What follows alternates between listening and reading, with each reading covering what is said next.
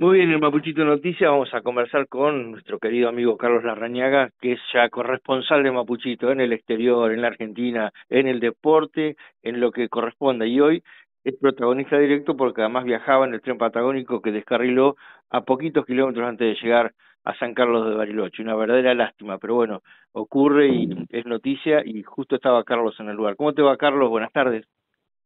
Buenas tardes, Raúl. ¿Cómo andas? Bien, bueno, che, muchos títulos me diste. No, el, tema es cuando te tenga que pagar. no, no hay problema. Sos un amigo, así que siempre estás presente en todas las noticias. No, veníamos muy bien, lamentablemente veníamos muy bien, digamos, a llegar a horario. Y bueno, yo venía justo en el vagón que, que descarriló y por suerte empezamos a sentir un ruido como como una especie de una rueda pinchada. Y yo en, chiste dije, che, pinchamos una rueda. No, y era la rueda del tren que venía haciendo ruido, ¿viste? Sobre las maderas. Claro. Así que el tren, el maquinista, yo calculo que cuando se dio cuenta, paró el tren más o menos a unos 500 metros y, bueno, la gente empezó a preguntar qué pasa, qué pasa. Y ahí eh, nos empezamos a bajar y vimos que unas cuatro ruedas se habían salido de las vías. Por suerte mucha gente tenía familiares en Bariloche y bueno, nos vinieron a buscar. Está bien. Este, y aquel que no que no tenía familiares seguramente deba, va, la empresa va a poner un colectivo para ir a buscar. Claro. Carlos, si te pregunto, eh, ¿viajaba mucha gente? Sí, sí, viajaba mucha gente. Había eh, tres eh, coches Pullman, eh, dos de primera clase y, y dos de, de, camarote, más el más el coche restaurante. Nosotros habíamos comido en un restaurante, que dicho sea de paso, eh, muy bien, muy buena atención, todo de 10, los baños, un, un, lujo, la verdad que para la provincia debemos destacar esto, Raúl. Seguro. Tenemos unos buenos trenes y a pesar de todo eh, están andando, ¿viste? Seguro. Están uniendo una provincia extensa y bueno, esto no nos puede... Es como si como si pincháramos una una cubierta en, un camino, ¿viste? ¿Qué va a ser?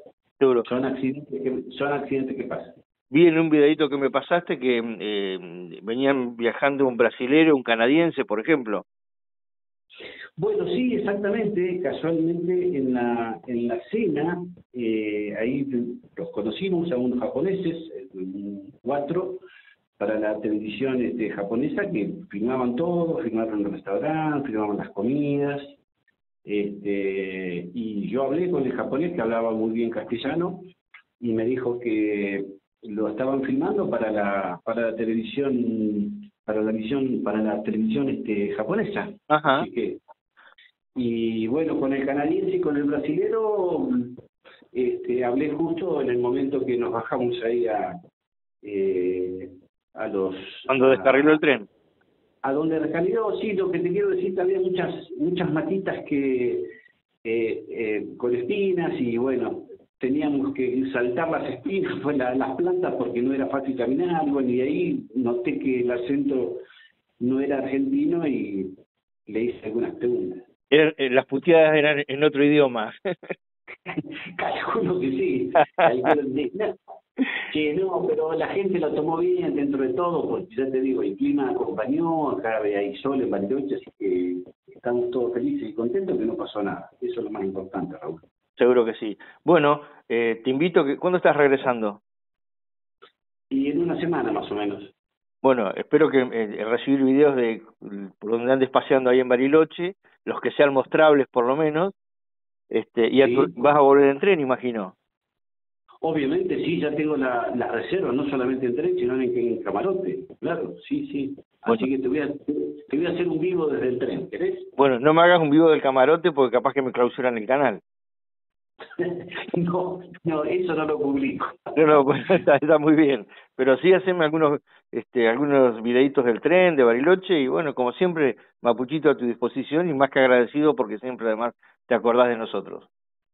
Bueno, Raúl, muchas gracias por la nota y un abrazo y bueno, esperemos que no nos pase más nada. Bueno, No, gracias a vos, saludos a los que andan con, eh, por así contigo. Un abrazo grande. Gracias, gracias. Hasta pronto. Hasta pronto.